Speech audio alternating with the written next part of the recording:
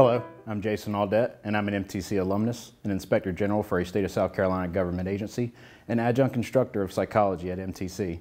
In forensic psychology, we apply our understanding of the human mind and behavior into public safety and the legal system. Please join us for Social and Behavioral Sciences SBS Day on February 8th to explore the intersection of psychology and the law and learn more about career opportunities in the forensic area.